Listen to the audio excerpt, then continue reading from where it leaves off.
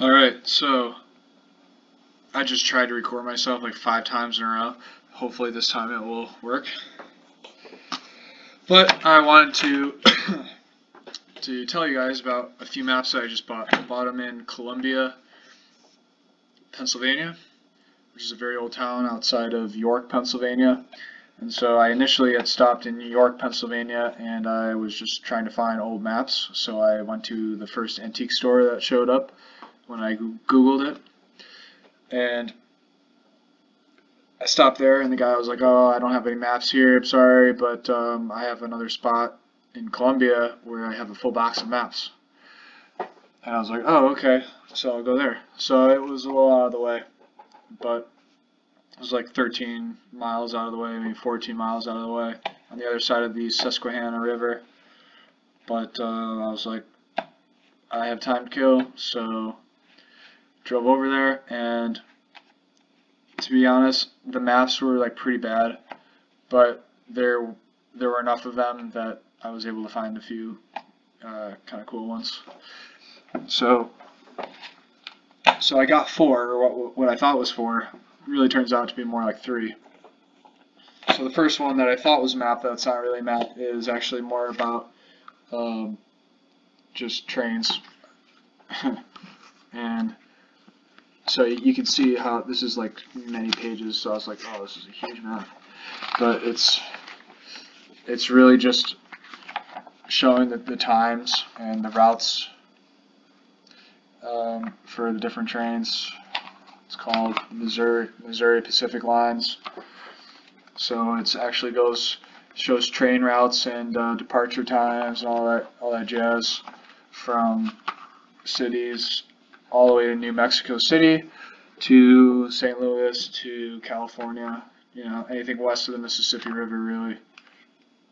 Um, so it's actually really cool in that sense. It's from 1952, so this is like the pinnacle of passenger train uh, ridership. You know, after World, World War II, before the interstate program or highways were enti entirely finished, everybody was still riding the trains. And this is also before, you know, passenger planes got just huge and way, way better, way faster than trains, obviously, ever could be. So it's, it's cool. It's got some drawings in it. Got a forklift probably the forklift was probably just invented in 1952 to be honest great invention so he's having fun with that uh, the next one is a Texaco they made a bazillion of these I'm sure but it's still cool um, there's one I have and it, this one specifically kind of caught my eye just because um, the the graphic designer or you know the team that put these maps together. So this cover was I have one that's just like it, but a Buffalo, Rochester area, like Western New York, and it's the same graphic design artist. So it, this is like a picture of Buffalo, but with just Buffalo buildings, and so this one's New York City, and that's pretty much pretty standard New York City map. Um, and I have like three New York City maps in my small collection. But New York City maps, basically, they're pretty much very similar. On one side, you got Manhattan. And then, so here's Manhattan. This is actually done very well. I think I got it the wrong way. This this this is done very well, I think. Just the way that Manhattan is uh, just laid out, how it fits on the page. Just looks really nice. And then on the other side, the flip side is, you know, boroughs. So you got Brooklyn down here, Queens, Queens, Jamaica. And just one thing that I wanted to point out about this map is, look at how much bigger LaGuardia is, or excuse me, JFK is than LaGuardia. So, what I like to look at, at what I think old maps are cool, or just maps in general, is how is how they illustrate is how they illustrate the things that they're illustrating. So I never before looking at this map, honestly, I never knew how much bigger JFK is than LaGuardia, but it's just not even close. And this map, you know, has all the buildings labeled. It's got the terminal. It's got all the runways and everything. And not not every map does that.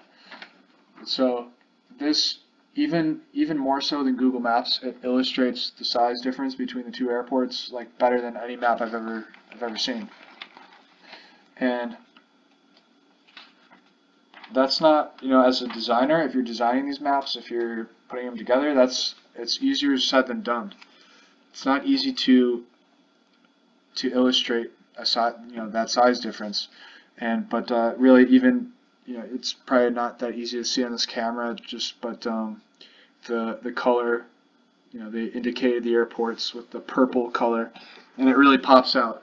And um, even more so, like I was saying, like with Google Maps, if you if you just go to over New York City on satellite view of Google Maps, like those airports, like you're not going to really be able to see those airports that clearly as you could see in that map. And um, even if you went to like the map view in Google Maps, it wouldn't. I don't think it would pop like it does with that. So that's just one reason why I like maps is because every map does something better than you know even if it's something really small like that. It it does it's it can be very functional and really help people comprehend something that they previously were not able to understand or, or they, they just didn't know. And so I learned something looking at that map. You know, JFK is way bigger than LaGuardia. I, I've just never flown there, I guess. But And then, I don't think I've, yeah. Uh, Boston to Buffalo. Pretty cool. Pretty cool map. It's actually really not that cool, but it's the concept of it that's cool. So Interstate 90, um, which I've driven several times. I've, I've driven to, to Boston a couple times. But Boston to Buffalo, just nice alliteration right there. Um, Boston, Buffalo, Interstate 90. Um, it's just straight east to west pretty much. And, you know, really, if you look at it on a map, and this is totally by accident, but Buffalo and Boston are really pretty much the same distance from the equator. So, you know, same latitude. And, um, but the cool, the cool thing about this map, and, you know, it's 1983, so it's the graphic design or whatever, it's just nothing special. It's just a map, you know, nothing special. But it's what they mapped. That's cool. So they just mapped like a certain radius or certain sections immediately around Interstate 90 because they thought, oh, well, if you're traveling on Interstate 90, then maybe you just care about the things that are immediately around Interstate 90, you know, if you have to stop for a hotel or whatever. And so it's the concept. So that, that's why I bought this map. This map was a dollar. But I bought it because I was like, that's kind of like a cool, it's a cool idea to make a map just of this. And I'm just going to show you the flip side. So the way that they did New York, New York was the same. They just they have four sections because New York is obviously bigger than Massachusetts. So they did two sections, an A and B section of Massachusetts around Interstate 90, and then on New York they have four sections, A, B, C, D, E. Five. Five sections. And um, so from top to bottom, you probably, you know, you're not really going to be able to see it, but I can just point and just kind of tell you about it. So over here you got Grand Island, so obviously again the map it's it's backwards how it is in real life, but um you go basically from west to east. So you got the the Buffalo to Rochester section, then you got Rochester to about Syracuse section, and then actually you have a little bit on beyond Buffalo. So you have Dunkirk over here along Lake Erie. Um, then down here, Syracuse, Utica, and then just. Okay, continuing. Um, So where I left off, sorry, this, the screen went blank, so I gotta had to restart the video, so that's why there's an edit. Um, but just continuing from west to east. And then just, here's the close-up, so it just shows you the different sections. There's obviously Interstate 90. So I just thought it was kind of cool, really unique.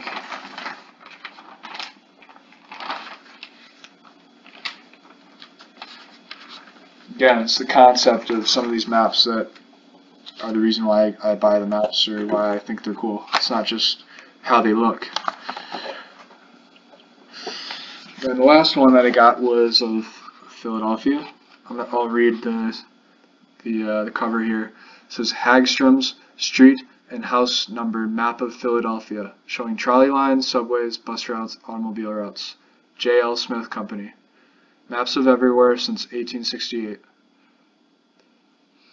And it was 50 cents, which kind of tells you that it was probably somewhat old. I don't know how old it was, and this map's a little bit trickier to open up.